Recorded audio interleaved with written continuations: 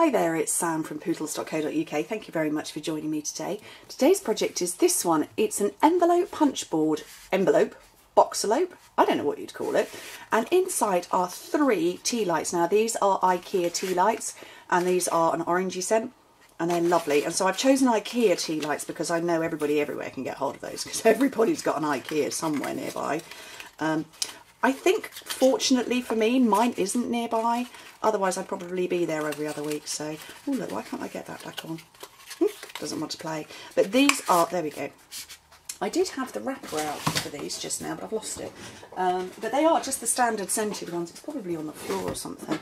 Um, but yeah, they're the standard scented tea lights, easy to come by. I'm going to show you how to make it. So you need a piece of cardstock that is six by six inches. And this one I made in Island Indigo because I've got the Celebration Wildflower Fields Designer Series paper going on there. I'm using it, using it again, but with a different uh, colour coming through.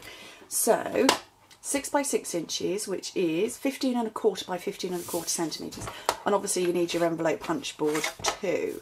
So I'm going to give you the, the imperial measurements first, and then I'll give you the metrics. So you're looking for three and five eighths of an inch, which I can't see. There we go, three and five eighths of an inch. Punch and score, and that is 9.2 centimetres. And then you slide it up to four and a half, punch and score, and that is 11 and a half centimetres. And then you turn it around and we're going to join up these two lines here. So this score this scored line here, you join it up to a little um, bit, stick, tick, I don't know what you call it, the score guide. You line it up to that, punch and score, and then the same with the second one, you punch and score that one. But then we're on this side, this second side, we're going to put in a third one. So punching and scoring, and this one we're going to come into 4 and 5 eighths of an inch, which is 11.8 centimetres punch and score.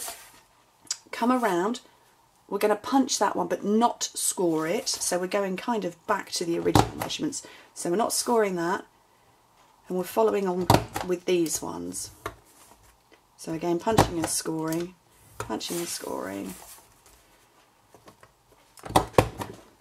punch and score, punch and score, and then the final one, the same as we did over on this side, 4 and 5 eighths of an inch, which is 11.8 centimetres. Punch and score, and we'll just punch out that side as well.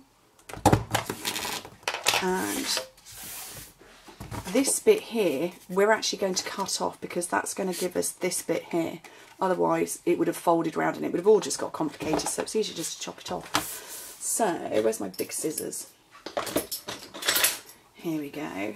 So it's this section here. So you've got very long horizontal lines, not the short bit, and it's the, the third one. That's the bit you're chopping off. And the same round there. So that's the cutting done for now. And then we're going to burnish all of these score lines. Because obviously, after all, it is a box and it's cardstock, Stampin' Up cardstock, which is lovely, sturdy stuff. So we need to manipulate the card and let it know we're boss.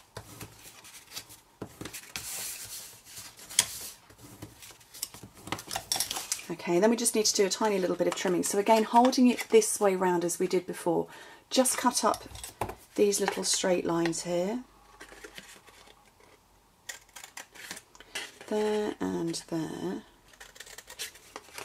Okay and then exactly the same round on the other side as well.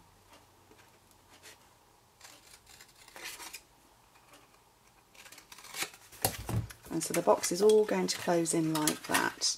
So where we put our adhesive is actually on these side tabs here. So I'm going to flip it over because we're going to put glue on there and there and that section of the tab. So I'm going to grab my fuse, which I had just a second ago. So just the bottom half of it and there, and there, and then the same there. Whoops.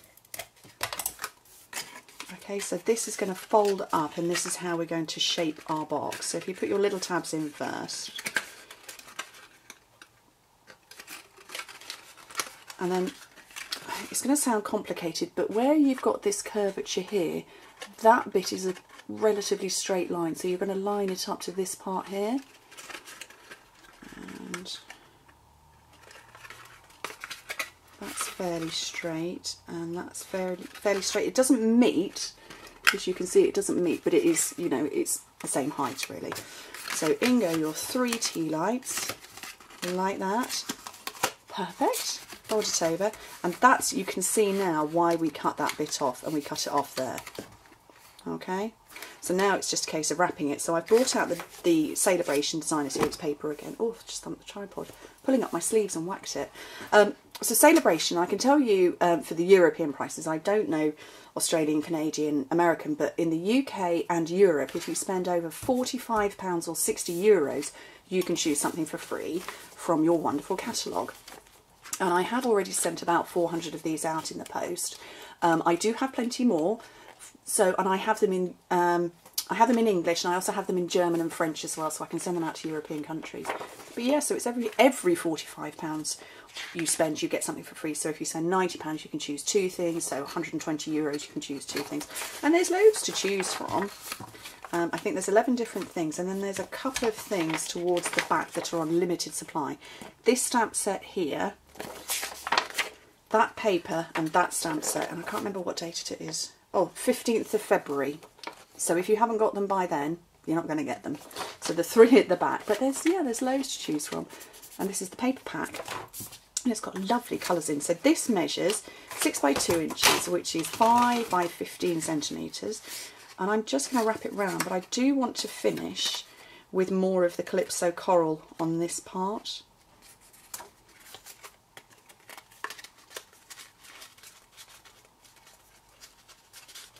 I should have started it like that, I think. There we go. Hang on.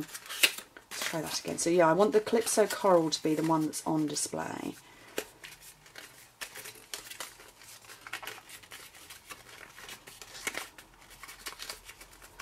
So there we go. So I've got too much. I'm just going to hack off a bit.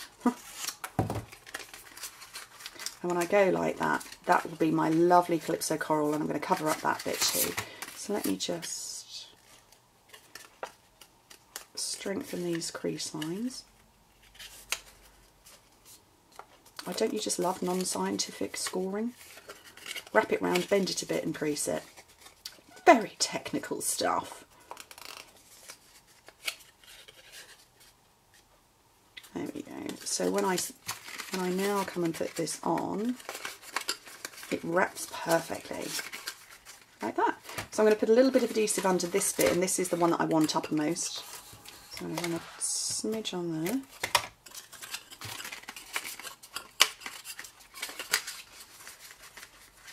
And I don't want to do it too tight because I want to be able to slide it on and off and not fight with it like I did with the sample. There we go. So that has got our, our join at the front, but it is hidden away.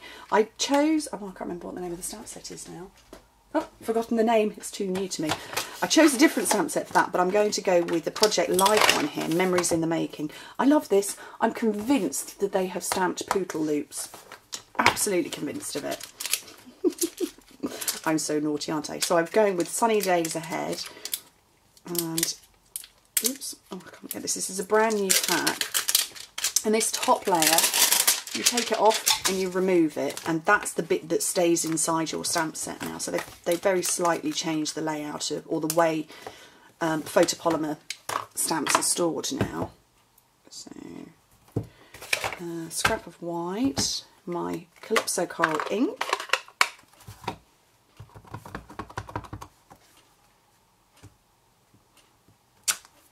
Oh so pretty and then I've got my oval punch this time. This is the large oval punch. You know what I'm like, I have to do things different, or differently. A bit more Calypso Coral cardstock. And while I've got this out, I am going to do the same flowers that I did before with my itty bitty punch. So I have three of those, which I'm going to lift up on my spongy mat that just looks terrible. I think I might have to turn it over or get a new one because that's just not pretty. Uh, where are we? Some candy dots, and these are the Whisper White ones. So three of those in there.